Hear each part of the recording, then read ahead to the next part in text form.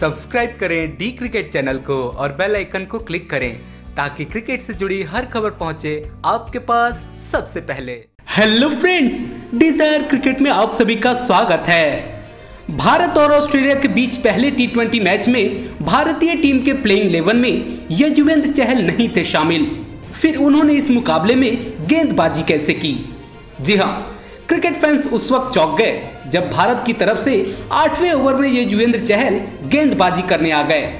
आश्चर्य इसलिए हुआ क्योंकि चहल आज प्लेइंग इलेवन में शामिल ही नहीं थे।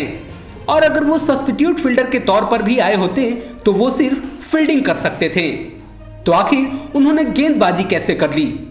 अब इस पर क्या कहता है आईसीसी का नियम, हम इस वीडियो में आपको बताएँगे।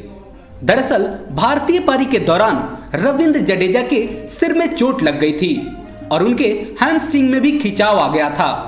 लेकिन किसी खिलाड़ी के सिर्फ़ हैमस्ट्रिंग खींच जाने पर उसे सिर्फ़ सब्सटीट्यूट फील्डर मिल सकता है। परंतु आईसीसी के नियम के अनुसार, अगर बल्लेबाज के सिर में चोट लग जाए और वो दोबारा मैदान पर ना उतर पाए तो उस खिलाड़ी की जगह कंकसन सब्सटीट्यूट को लाया जा सकता है।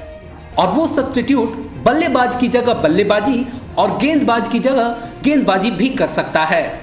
और चूँकि रविंद्र जडेजा गेंदबाजी भी करते हैं, इसलिए चहल टीम में शामिल हो गए और अपने पहले ओवर में इनफॉर्म बल्लेबाज एरन फिंच को आउट भी कर दिया।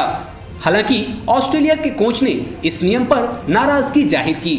अब आप भी इस नियम पर अपनी राय कमेंट बॉक्स में लिखें। और हाँ डी क्रिकेट को सब्सक्राइब करना ना भूलें। धन्यवाद।